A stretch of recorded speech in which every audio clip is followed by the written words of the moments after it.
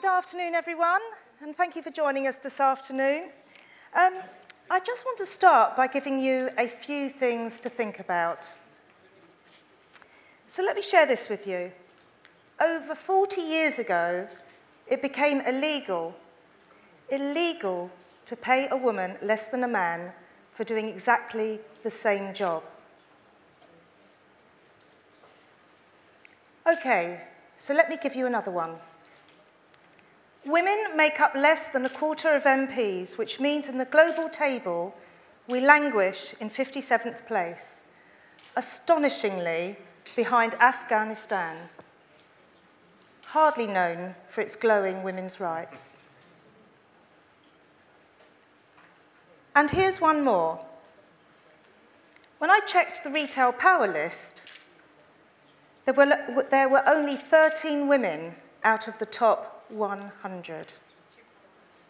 Now, I don't think it's just me, but I think these facts are pretty frightening. So now we are going to talk about why and what needs to be done. And to help me do that, I'd like to introduce you to my expert panel. So first up is Group Chairman and Group CEO of AMV BBDO, also a member of the Women's Business Council.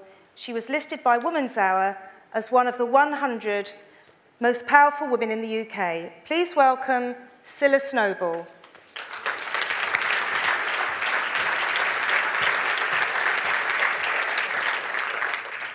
Next up is someone who needs no introduction, the CEO of Sainsbury's. He is also a colleague of mine on the Retail Week Advisory Board and uh, certainly is very vocal about his support for women. Please welcome Mike Coupe.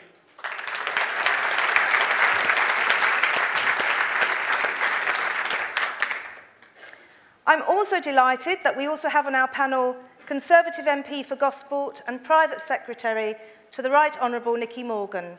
Under the coalition, they have eliminated all male FTSE 100 boards. Please welcome Caroline Dinenage.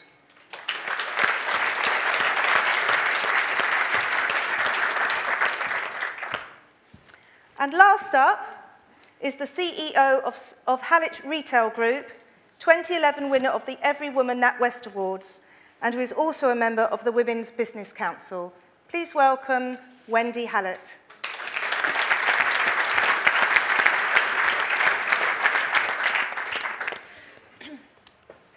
So right, Caroline, 40 years ago, it became illegal to pay a woman less than a man for doing exactly the same job. I mean, it's not, it's not good enough, really, is it, to no. be in that situation? Well, did, you ever, did you see that film Made in Dagenham? Where Barbara Castle goes off and, and, and fights the fight on behalf of the um, motor company, car, you know, the car workers. You know, and, that's, and it seems like such a long time ago. When you watch the movie, it just seems like um, a, a, it's a lifetime ago. Um, and yet, the fact that we're still having this conversation today is, is really quite terrifying. I mean, the, the gender pay gap has changed. Um, there, it, we virtually eliminated it um, um, among women who are working full-time under the age of 40. So we made progress, but it's still frighteningly high in, um, in other areas and, and, and um, you know, something we need to work on. Yeah, I mean, it, it is frightening because I think it sort of sets the tone. You know, I was reading that you know, a graduate, when, le when they leave a university, will earn 2,000, a female graduate will earn 2,000 pounds less than her male counterpart. Um, and I think this sort of devalues a, a woman's contribution in the workplace right from the beginning and hardly um, you know, gives her confidence that she can you know, reach that, that top level. Uh, do, you, do you have anything to add on that, Silla? Yeah, I mean, uh, we've obviously got to address pay inequality to get to true equality and I think you know we need support of men and women to get us there. There's a, a great phrase that says, "Men of quality don't fear women of quality and inequality," and and it's a joint effort that will address the pay gap.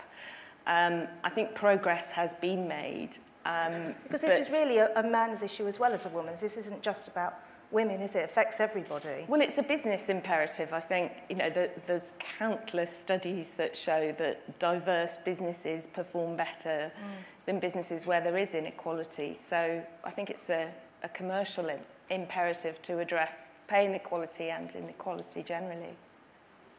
So just, just to sort of change the theme, I want to move on to quotas because that, you know, is the buzzword at the moment. Um, you know, some countries will say that there is no alternative but quotas. Cilla, would you agree or disagree? Well, I'm not in favour of quotas at all because I think we've got to do it in a measured and managed fashion. I think the only good thing about quotas would be that it would get the job done quickly. But for me, that's the only good thing about quotas. So I'm not in favour of quotas, no, but I am in favour of us addressing these issues quickly and hopefully in our lifetimes so that we see the equality quickly. Um, and quotas are a good accelerator, but I, I think we all want a more sustainable solution for the long term. And I think quotas would be a quick fix. What, what does the panel think in terms of an alternative? Is there an alternative to quotas? I think uh, mandatory short listing, which is something that we're considering very strongly in our business, is a, is a way of going some way towards a solution. I, I agree with Cilla. I think in the end, quotas take us down the wrong path. And if I talk to the senior women in our business, that's something they would be vehemently opposed to um, because they would feel that it somehow has devalued their accomplishment and achievement in our business. So I think a step on the direction, in the right direction is to have mandatory shortlisting on any number of diversity issues, but not least gender diversity. I know you've yeah. achieved a lot on the FTSE 100 uh, boards. Uh, did you come across any um, any problems with you know being dictated to about uh, Well, I mean, I kind of agree. We get this in politics. We get this a lot that people mm. are, you know, the, the issue of quotas, the issue of all-female shortlists. And, and personally, as somebody who's never been involved in anything like that, it, it almost, as you say, devalues what we have achieved. It's almost as if we're, we're subliminally saying that women are only good enough if we take men out of the equation, which, of course, you know, once you get into the job, men are in the equation, and you have to be able to compete um, uh, uh, on um, in, in, in the workplace. Um, and, it, and it does devalue what women achieve. I mean, I think the, issue, the big, big issue here is um, actually starts right from the beginning, once from when children go to school um, and the jobs are presented as being girl jobs, boy jobs, you know. Um, so it's no, mis it's, you know, the, the reason we have gender inequality in terms of, of, of pay is not because people aren't paid the same, same thing for doing the same job, because, you know, they have to by law, and if they aren't, then, you know, we can throw the book at them. The issue is that women aren't doing as well paid jobs as men. You know, it's no um, accident that 92% of secretaries are female, but only 7% of engineers. And that's what we have to address right from when youngsters go to school about what potential careers they can have, you know, and, and encouraging them into uh, STEM subjects, encouraging girls to aspire to be businesswomen like mm. yourself, to be um, uh, doctors, engineers, scientists. Yeah. I mean, I, I, I want to move on in a second, but I, I too totally get there is a big piece to be done around social conditioning and what starts at a very, very, very early age. But what, what's fascinating to me, and, and going back to what Silla was saying earlier about you know, there is a business case. There's uh, plenty of evidence to say that boards that have, you know, mixed uh, gender outperform those that, that just have all male boards. So I, I find it fascinating, you know, Mike, coming back to you, when we, when we look around our, our industry and, and Wendy as well, um, you know, considering the thousands of women that we employ, the number of women that actually make it onto boards, it, it, it's pathetically poor, really, isn't it, overall? I, I think for me, the, um, the concern about quotas is you almost take your eye off um, what I feel is one of the biggest problems, which is the pipeline itself. So that if you feel you become, it's a tick box exercise, where I think the biggest, the most important thing is to ensure that even when you do the short list, that the short, you have a good quality of people who want to do those jobs and who are ready for those jobs. So I think we've really got to look at um, right from the start how we handle um, women when they go on maternity, how they're handled when they come back, um, and the whole flexible working so that women don't get to different stages in their lives, often when they do return having had children, um, sometimes also when they take on caring responsibilities, um, when they get perhaps 50 plus, um, and those women then are not in a position to be shortlisted or to get those top mm. jobs. But they've got to be good enough to get those jobs, not just be given them. Uh, I think you know, the fact that there are still many boards out there, in fact, we were speaking to somebody earlier, uh, just before we came on stage, um, you know, the fact that there are so many boards still out there that do still have all male boards, I mean, do you both feel that there, you know, that perhaps some leaders just don't value the female talent? I, I mean, I cannot conceive of operating on a board that doesn't have female representation, especially in a massive food retailer, which in the end, the majority of our customers are women. So, I, I mean, I don't think I've worked my entire career on a board that doesn't have some form of female representation because, to, to Cilla's point, I think you just miss a huge amount of difference of view and, and women work in a different way and it adds a, a much broader uh, spectrum and much more colour into the debate that I see around the board table. So, I mean, I've, I have difficulty understanding how businesses so what, can operate. What do you think the reason is? Is it, is it culture? Is it because it's quite tough and maybe macho at the top? Or, or there, is it because there's a lack of flexibility? I mean, how, how do you unpack it? Um, so much of it is about leadership, so much of it starts at the top. You have to have organisations prepared to do the things uh, to help people through the system. Childcare is a big issue within businesses and trying to find ways of helping people be helping women be more flexible Uh, in their working environment. I think that's a critical issue for us as an industry to uh, get our heads around and, and, do a better job of. Uh, in our business, we're beginning to see part-time women store managers. That's a great move on, but I think culturally, that's a massive leap from where we'd would have been traditionally. So these types of issues will start to surface uh, perhaps a new generation coming through. It's interesting because you've mentioned about um, women and flexible working. For me, one of the real key things is that men also start embracing flexible working because I think if, if fathers could um, uh, could have more well they've got they can have flexible working but I think this is where the culture comes in versus the policy that we can put as many policies into companies or government can but it's whether people start um, working in the culture's become. So I think if men, if fathers um, worked more flexibly, I think by default that would probably make it easier as well for um, working mothers. So how, how difficult do you think as retailers it is for retailers to you know, implement this flexibility, particularly at board level? I mean, you know, is it feasible to have a part-time uh, you know, working mum at board level?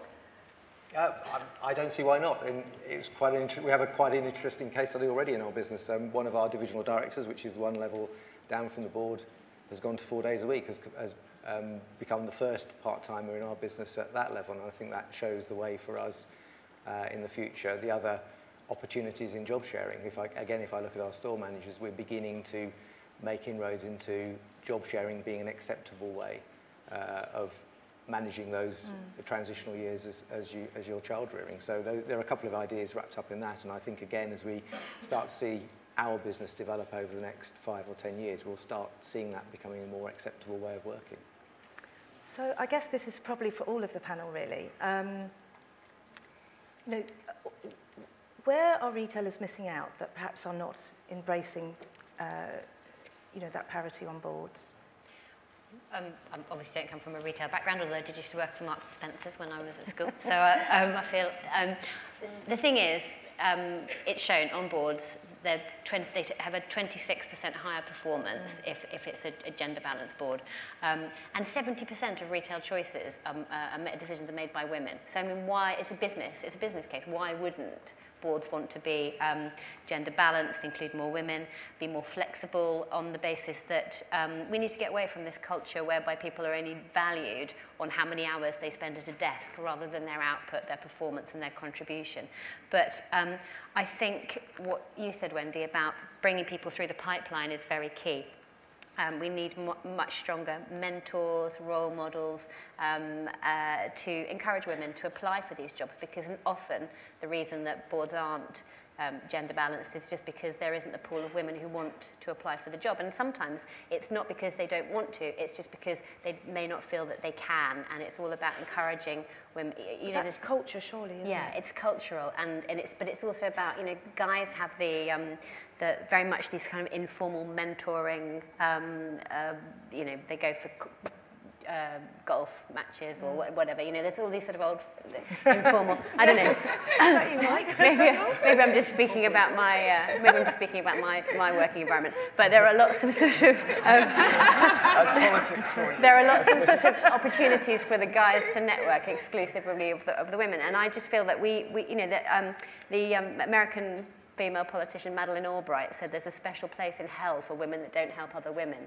And I feel that we do, you know, that, that sort of mentoring, encouraging. And there's this, um, this sort of old anecdote that um, if a woman's thinking of applying for a job and there are 10 criteria and she's got eight of them, she'll think, I'm not qualified for that. Whereas if a guy is looking at the same criteria and he says, oh, I've got five of those, I'm more than qualified. It's all about sort of mentoring, encouraging, and, and feeding that pipeline to That's an interesting point that you make because, you know, there were studies that showed that um, Girls, by the time they reach secondary school, are three and a half times more likely to have lower self-esteem than boys. And by the time they're age 12, they are un unlikely to become a leader. It goes back to that social conditioning piece, doesn't it? And I, I personally would love to see a, a piece of robust, a robust initiative done by government ar- around that age group. Well, I mean, there is. There, I mean, there are things like um, the This Life campaign, which is about trying to encourage more girls to get into STEM subjects really early on, so science, um, technology, engineering, maths, because if they discount those subjects as being boy subjects right from the start of their academic career, they're kind of counting themselves out of some of the highest paid professions. So in the top 10 um, highest paid professions in the UK, uh, seven of them have the word engineer at the end. And if you don't take any of your sciences, you're already discounting yourself from those professions. So things like the This Life campaign, which is, again, it's all about mentoring, but it's about role models and about showing girls that what they can, what they can achieve. It's, yeah, I think that's really important. I think we, when we did the Women's Business Council report, we looked really closely at that and we found that the issues all start in the classroom, not in the boardroom, and it is about subject choices. And I think only 18% of engineering graduates are female. So there's huge underrepresentation there that needs to be fixed. And the mentoring comes in by businesses connecting with schools and universities in a meaningful way so that interesting jobs can be exposed to young girls um, and interesting subject choices selected. But, you know, there's a whole host of measures from mentoring to informed choices to subject choices. We, we need to go right back to school and spend a lot of time in schools to, to fix this problem for good. I mean, as the father of a 22 and 19 year old girls, I'll Don't be, look at Mike. I mean, again, I would be mortified if they didn't have that sort of ambition and, mm. and drive mm. and, and feel that somehow that they were unequal to men. I would be absolutely mortified by that idea. But I think there's something about mentoring in schools. Uh, we do work where our colleagues go into schools, they talk to kids, usually 14 to 16 is the kind of sweet spot of age where kids are more receptive to understanding the diverse nature of the opportunities we have as a business. And I think that is something that can be, we can do more of, and particularly biased towards uh, trying to get more women into our workplace on a broader, a broader base. So, I, I mean, I think all of those things are really valuable, but I think if we take it back to, you know, the buy-in, if you like, at board level or leadership level, I'd really be interested to know what each of you think about boards that are not embracing this. What would you say they are missing out on? Do you want to start, Well, Sue? they, I think they're missing out on a rich seam of insight. Um, they're, they're not in touch with their customer base. I mean, it, this is a, an industry that's dominated by women in the purchasing sense. So if our job is to understand our customers better than anyone else, then they're missing out on deep cus- customer insight. It, it, it's madness, really, isn't it? If you've got 70% of your customers are women making those purchasing decisions, and that demographic is then not, you know, represented on, on your board. Well, quite. So I, I think that's what, where you're missing out. And clearly, you know, again, all the studies show that businesses that have diverse management teams are not only more effective, but they're better at serving customers and have better cultures for people to want to work in and stay in. So, I mean, at the end of the day, it's just normal behaviour. It's mm. abnormal to have an all-male or all-female anything. Mm, I agree. I, I, I agree with Cilla. I, I, I, if there's one thing I've learnt over the years, it's that women think differently to men.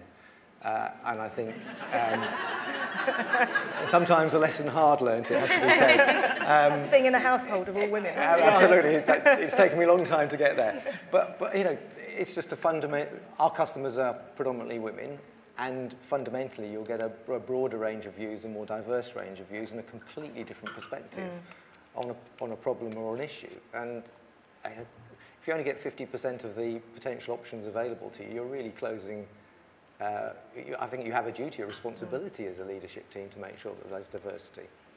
I agree. Yeah, well, just been from, I started out in business. I started my business when I was 19, and from a business point of view, it doesn't make sense that if your majority of your customers are women, you're not reflecting that in your board. I mean, how can you, you know, how can you possibly reflect what your consumer needs if you if you're not you know, if you're not um, uh, representative of them in, at, at the high, highest possible level, it doesn't make well, sense. Well, you know, when I look at my own board, I've got 50-50 actually, men and women, and I'll always, always recruit the best person for the job. It isn't about, oh, I've got to have so many women or so many men. And when I look around the table, you know, I, I can't really say that, you know, women do this or men do that differently. They're all as good as each other. Mm. Um, so, you know, mm. I, I, I think the key is just, you know, it's about that for me, and I'm 50-50 as well on my board, is that it's the diversity of the talent and the, the way of thinking. And um, certainly, um, and I have the added, slightly added complication that my husband is uh, also in the business with me. And we are so diverse in how we look at problems and issues. And it's just great having um, men and women um, and the way we, we think and do things differently. It, it, and it really, we have very, very lively debates because we all do think differently. But we, you know, hopefully we get to then the uh, right decision at the end. I run um, a competition on, on Twitter for women in business. And they tweet me, tweet me their business every Wednesday, just gone. Um, and I, I'll profile the, the top three, and we do mentoring days and mentoring lunches. And, and when, I meet, when I meet with these women, who, by the way, are hugely talented, have great, great business ideas and, and, and businesses, it always astounds me how many have actually left big corporations and actually chosen to go and do their own small business because they just feel that there is no opportunity for them in these big organisations, that there is this glass ceiling. So my question to you, Wendy, is how, how do we retain that talent? I mean, that's exactly um, what, what happened to myself. I, I left um, corporate life when I, my two children were very, very young um, because I wanted a very flexible way of um, working. And by working for myself, I was able to, to, to achieve that. Um, it's interesting, the work we've done on the Women's Business Council, one of the biggest um, issues that came through was childcare and the cost of childcare. So um, I think that area, and obviously the government has gone to, and we, you know, it was something that we were very, very keen to achieve um, and to influence was the tax breaks on childcare. But there is still such a long way to go mm. because there, for a lot of women who are very talented, they don't come back to work because the cost of childcare outweighs um, what they will earn. I mean, I know the government back. has done some great things with childcare. Yeah, so free childcare, um, tax-free childcare for um, children from the age of two, starting from September this year, which will, you know, on average save um, uh, parents £2,000 per child. But, you know, I, I fully understand um, I, my children are now 12 and 7, so um, it's been a while since they were in, um, you know, childminders and that sort of thing, but it was a massive expense. I mean, it was a huge expense. But I think um, there are a couple of other things here. I think actually what we want is, to, is that women are allowed to do what they want to do. So if actually they want to be able to be mums and run their own smaller business um, at the same time, that's great.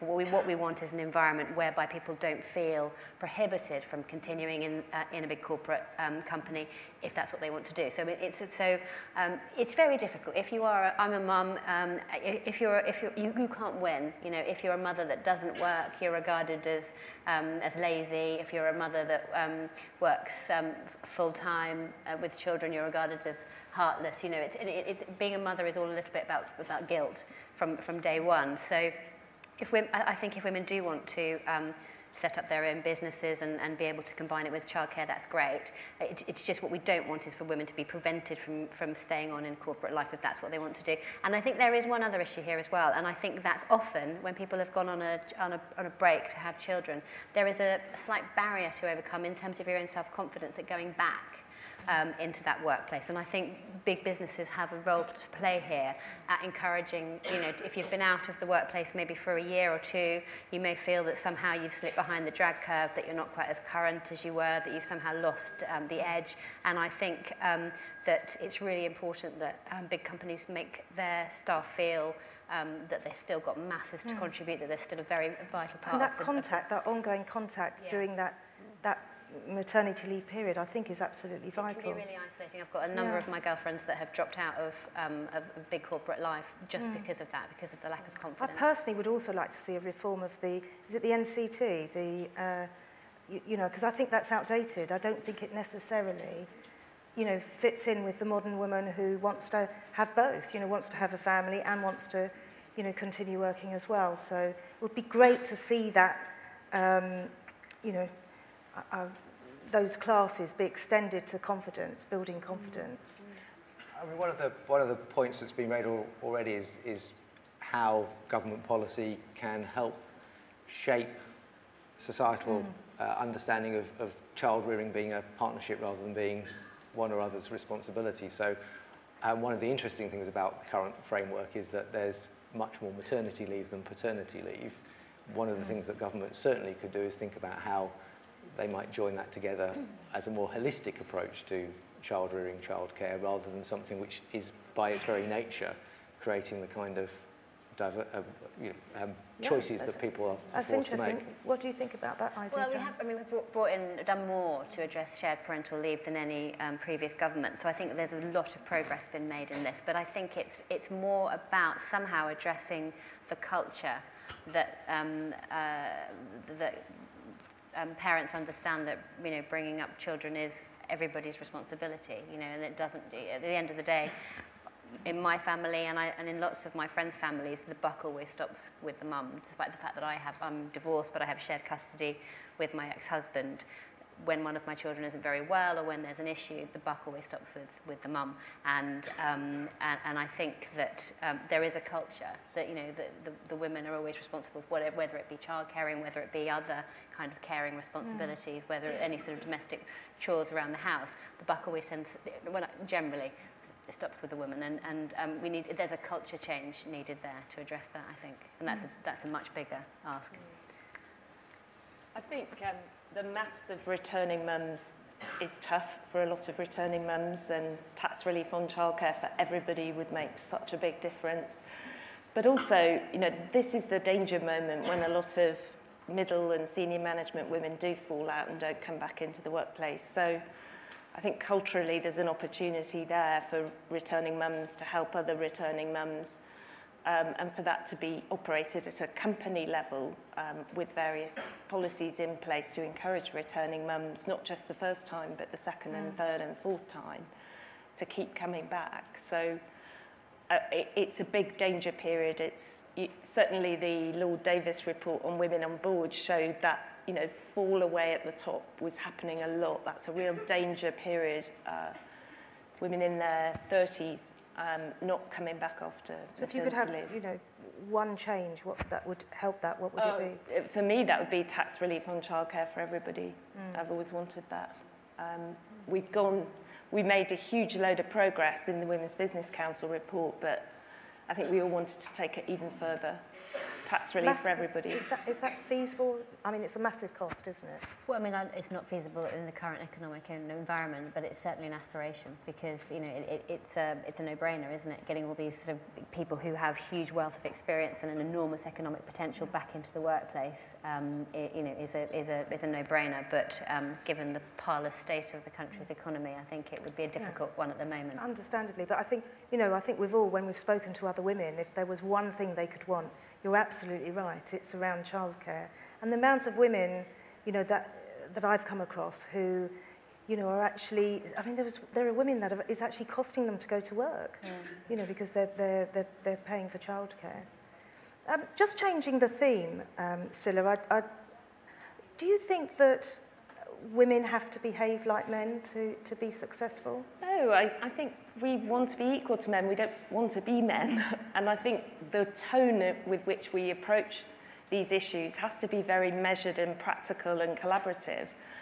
Otherwise, you just get into man-hating, mm. eye-rolling paralysis, and it's, it's much better to have a collaborative, practical approach by measurement, you know, and I think... But do you think some women still feel they need to do that? I mean, we've all seen evidence of it, haven't we? Well, I, I don't think it's effective. I think you've got to be yourself, and we are different, and we don't want to be men or behave like men. We're different. Caroline, do you find that in Parliament? Oh, there are a number of women in, in um, Parliament who feel that they have to be like men in order to, um, in order to succeed. Um, and, um, and some won't get involved in women's issues in Parliament because they feel um, somehow like that makes them um, somehow not equal in the eyes of, mm. of the chaps, um, which of course is nonsense. We had our International Women's Day debate in Parliament last week and we had it in the main chamber of the House of Commons. Uh, three former Secretaries of State spoke on, on our side of the chamber. So it is, a, it is mm. a big, robust, strong, important issue. Um, so, um, you know, but I've heard over the years, I've heard um, when we were talking about changing the working hours in Parliament to make them less mad, you know, because at one stage we could go all through the night um, with voting, and that doesn't really do anybody any favours. Um, uh, I heard one female colleague say, well, if women, uh, you know, was one of the reasons put for doing it was that, of course, it doesn't really encourage a very normal family life. People can't get home to their, their, their children. Um, and one female MP was heard saying, well, if um, women don't like it, they shouldn't be in this job, which isn't very helpful, you know, um, in the same way as in the retail sector or any other business, in politics, in order to create um, a, a country that is, you know, and laws that are reflected of the needs of 50% of the population. It's, it's right that we should aspire that 50% of the members of parliament that represent them should be women. We should just, be, just we need to be reflective of the population as a whole. So, you know, it's, it's, it's an issue. So Wendy, just, you know, picking up what Caroline's saying there, do you think the same type of women are unsupportive? Because you often hear this, don't you, in certain businesses where they are less supportive of other women?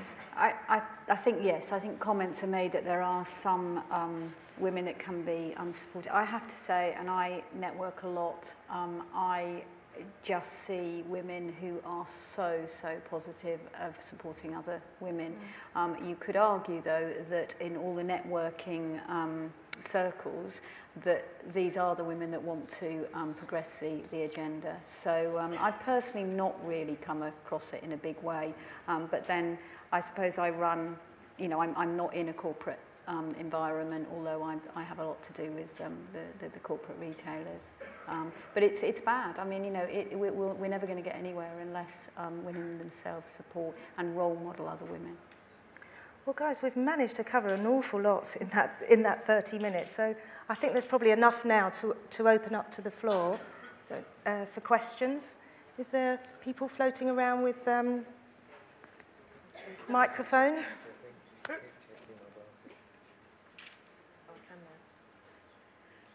Anybody like to ask the panel a question?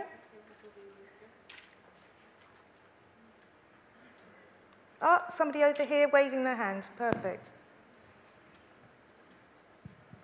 Hello, um, my name is David. I'm from uh, Maybe Solutions. Uh, I think this is a really interesting debate. Uh, more, more, interesting than I thought it was going to be, if that's somewhat um, honest. Um,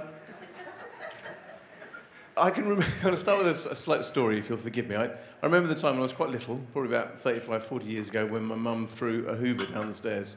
Um, it was quite new. Uh, we couldn't afford to replace it, but uh, and she might have been having a generally irritated moment at how many toys there were on the floor. But she threw it down the stairs, shouting, "This was designed by a man." And I've never forgotten that moment because she just hated this product because it didn't work for her.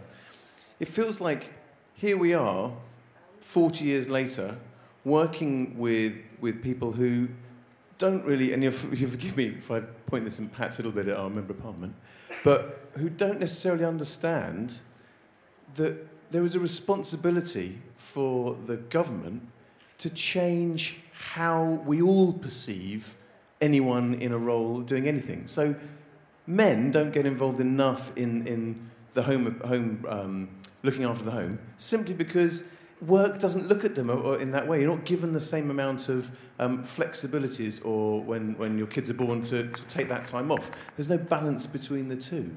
And so it's not, it's not enough to say we've gone, or we've done more than any other government. It's like, but nothing and not enough is happening. And businesses are not connecting enough with, with that and leading that agenda forward either. I do have a question, which is if you were to apply technology to a change, how would you see technology helping women take a bigger role in business after they're obliged to, to do maternity care for six, nine months? So, what impact can technology have in changing the way equality works in the workplace?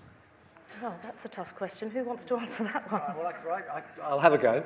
Um, I think it can make a big difference. Um, certainly, if you start with the approach of work is something you do rather than somewhere you go, you can start opening up a different series of possibilities for how people work. And I think that creates an environment where you have more flexibility, uh, more flexible working, and ultimately that can help overcome some of the issues that we've explored as we've gone through. That requires quite a big investment. If you take our business as an example, we have the best part of two and a half thousand people working in central London. Working through what that would imply for our organisation is not without its challenges, but the underlying principle of creating an environment where uh, through technology you can work more flexibly and you can work when it suits your lifestyle absolutely sits at the heart of the thing, one of the things that can be done. Yeah. Mm. I mean, I think the commitment is there for, you're seeing a lot more of that, aren't you, with businesses? But the use of technology, I think, is an interesting, an interesting way of looking at it. Well, I also think that the way technology is taught, and it goes back to the gender imbalance between certain STEM subjects, but I look at my kids and look at their, yeah. their use of technology. You know, that's one of the things that will drive their more equal life in the I future. Agree. I agree with that. Anyone else? Lady here?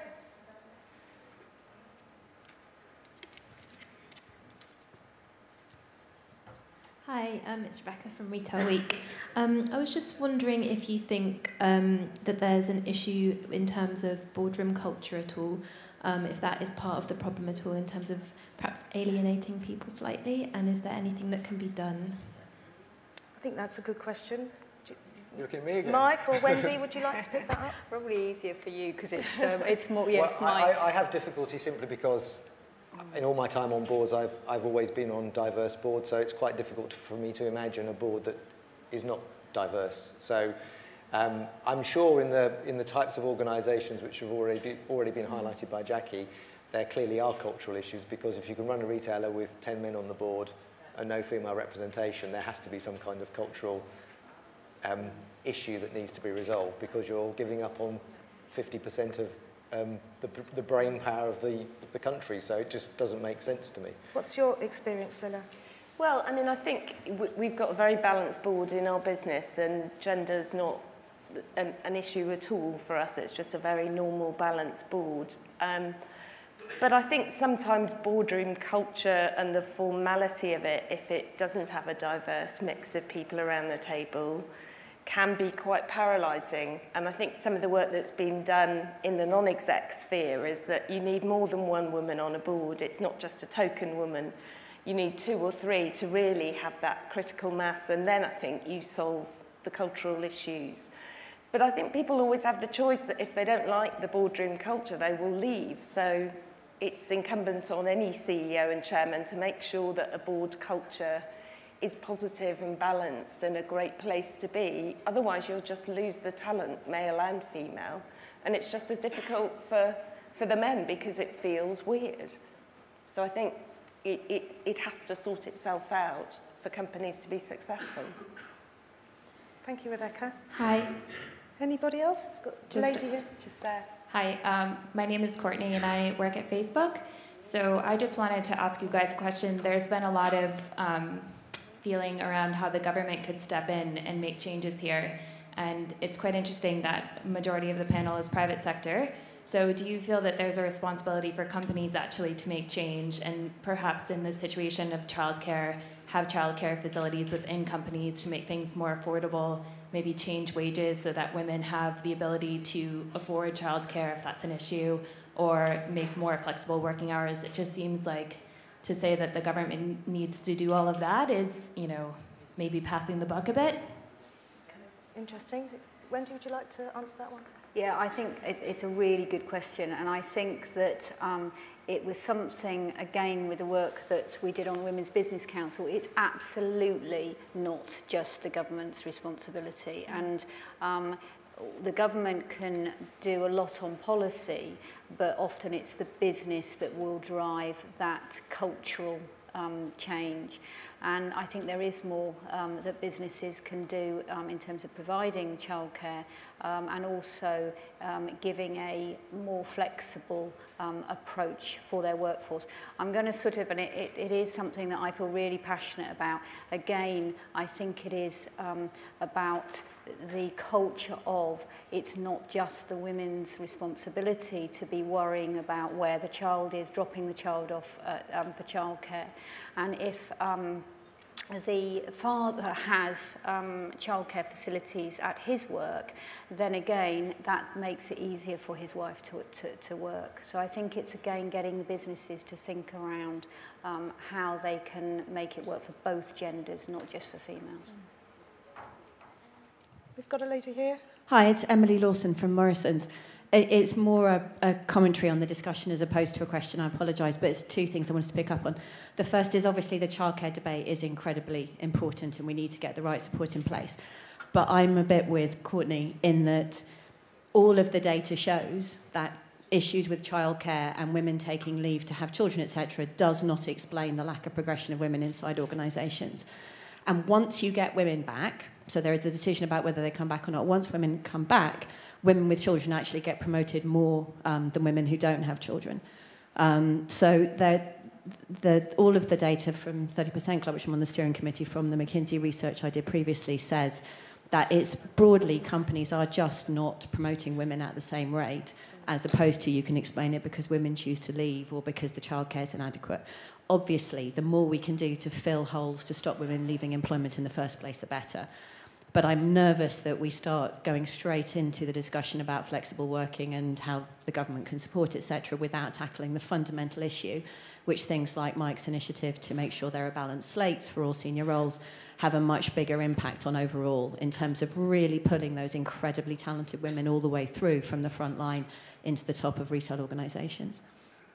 And I'm just interested to know what, what your challenges are or in your own business in, in Morrison's? Sure. Well, I've, I've been there 18 months, and one of the things I did do was to um, introduce balanced slates. So we've had those going for about eight months.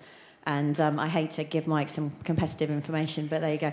Um, but our, our senior management group's gone from 20% women to 26% women um, over the last year because all of the roles that we've considered over that period, we've said it's not just about women, but you have to consider somebody for, it, for whom it's a big step up, somebody for whom it's a cross business move, and somebody who's a woman. Mm. And so that obviously all three could be in the same person. And you don't have to give them the job, but you have to consider it, and then you have to give feedback about why the relevant person got the job. Um, and that's made a big difference. And then obviously there's a bunch of other initiatives that need to go to support that, including unconscious bias training for everybody who recruits inside Morrison's, so that people are aware of the choices that they're making when they give people a job. And to be clear, we've got a long way to go. Yeah. So we have 70% employment for women at the front line, and you know I'm the only woman on the management board, so I'm not pretending like everything's fantastic either. And there's a massive journey to take. But I think we need to own up as large corporations the fact that it's not just about childcare. The one thing that women really do do much more than men do, and the consequent um, mm. responsibilities afterwards, it is a bit of the problem, but it can't be the only part of the debate. Do you feel though that the large organisations can really help in Absolutely. setting the tone, yeah. can't they? Yeah. And you know, we've just introduced childcare vouchers for Morrison's colleagues, and it is making a difference. But it's it's not going to be the only thing that we need to do in order to address you know the lack of flow through of women from the front line. Okay, thank you very much. I think that's all we've got time for now. Um, it's certainly been a fascinating discussion.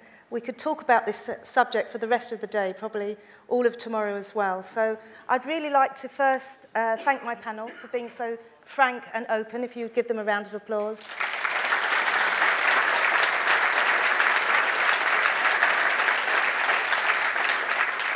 And also to you, the audience, I hope you enjoyed it. Um, I certainly enjoyed leading it. Thank you and enjoy the rest of your day. Thank you.